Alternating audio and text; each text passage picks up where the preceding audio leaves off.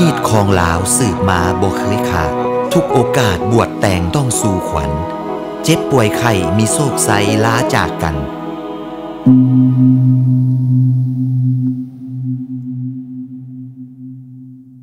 ผู้ขอขวัญสร้างศรัทธากำลังใจขอให้ลูกเดินทางปลอดภัย